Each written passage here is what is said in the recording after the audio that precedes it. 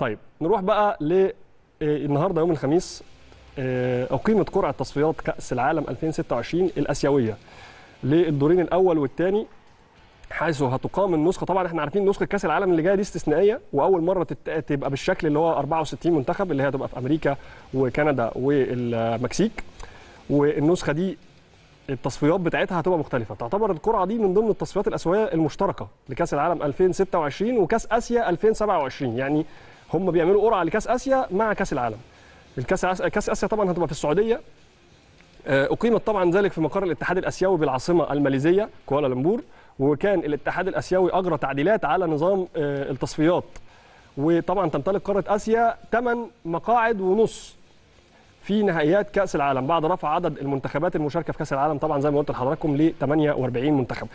القارات كلها هيبقى عندها المشكلة بتاعت إن أنت اللي جاي ده أول مرة بالشكل ده وأول مرة يبقى في عدد منتخبات كبير من كل قارة زي ما حضراتكم شايفين معانا أهو.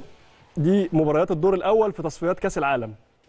المنظر اللي معانا على الشاشة ده هنشوفها مع بعض أهو على الشاشة أفغانستان ومنغوليا. طبعا في منتخبات إحنا ما بنشوفهاش لا في كأس العالم ولا في بطولة آسيا. مالديف وبنجلاديش سنغافورة وغام اليمن وسريلانكا آه، مينمار وماكاو.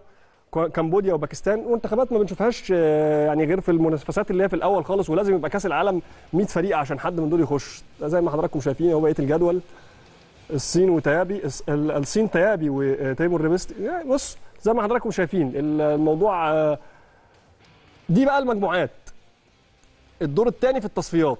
يعني دي ال- الجدول اللي معانا الجديد ده دي المجموعات المجموعة الأولى والثانيه والثالثه أهو ده الدور الثاني في تصفيات آسيا المؤهلة لكأس العالم واللي هيبقى منها برضو أيضا المؤهلة لتصفيات آه، لبطولة آسيا. فبالتالي هي نظام مختلف السنة دي وليه شكل مختلف وهيبقى كل القارات على فكرة بنشوف لأول مرة حاجات فيها لأن المقاعد زادت في كأس العالم بعد زيادة عدد المنتخبات.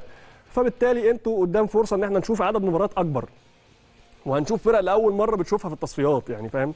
أنت برضو مش متابع كل الفرق دي. كل قارة فيها الفرق المشهورة اللي بتروح منها كاس العالم. عندنا سوريا فيها هيكتور كوبر وقطر فيها كيروش. في مدربين من المدربين اللي عدوا علينا في مصر كتير في قارة آسيا المرة دي. آه، أعتقد التصفيات دي هتبقى قوية جدا يعني. وفي منتخبات مجهزة يعني في منتخبات مجهزة آه، بنية تحتية لمنتخباتها.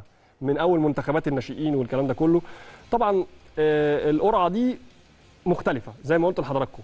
خلال عام 2024 هيتم تقسيم المجموعات وكل الكلام ده كله وهنشوف بقى قرعة لكأس العالم اللي جاي بشكل مختلف تماما. هيتأهل أول فريقين من كل مجموعة. لكأس العالم مباشرة لكأس العالم.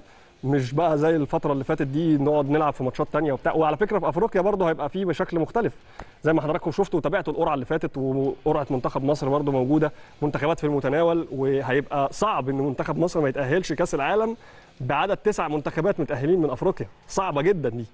فبالتالي نتمنى التوفيق للمنتخبات العربية في آسيا كلها ونتمنى التوفيق أيضا في الم- المنتخبات العربية اللي عندها فرص قوية. إحنا المرة دي عندنا فرص قوية جدا لمنتخبات عربية كتير في كأس العالم اللي جاي. نتمنى إن إحنا نستغل ده.